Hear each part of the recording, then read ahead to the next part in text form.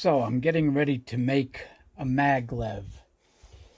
Very much like you see Sky Collector. This is the one that I'm this is not his. This is this is one that I actually have. I'm I'm um, designing it off of this.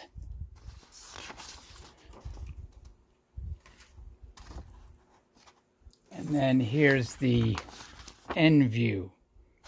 And so I got myself some 3 8 plexiglass or acrylic. And I've been asking around on how to cut it and how to sand it. And I got some really good feedback.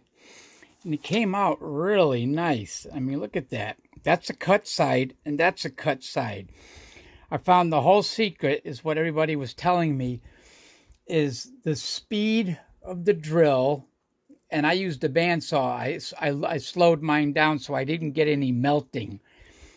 The speed, and I drilled these out, and there was no melting at all. I was amazed. I dropped my my um, drill press down to 600 RPM.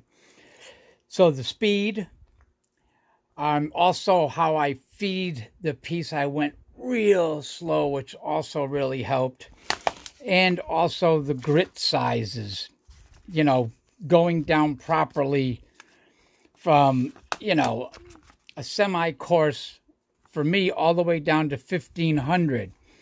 And it gave me a really nice finish. And I haven't even polished this yet.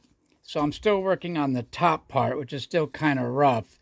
That's not a cut side. That's a cut side and that came out really nice. And, and again, I haven't even polished yet, so I'm going to take my time. Here's the second one.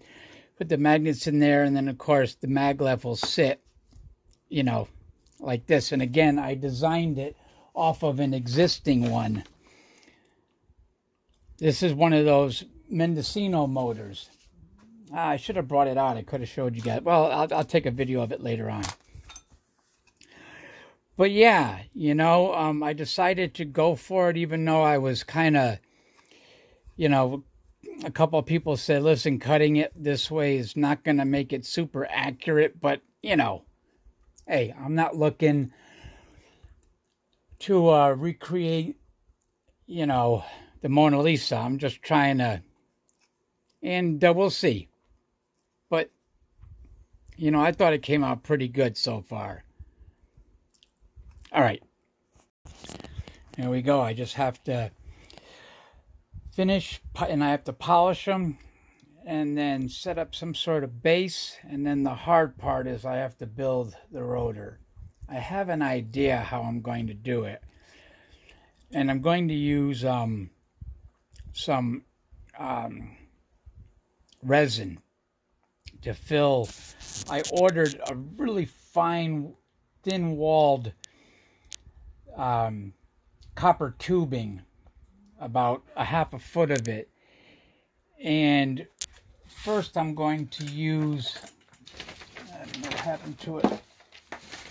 Oh, here it is. First I'm going to use one of these.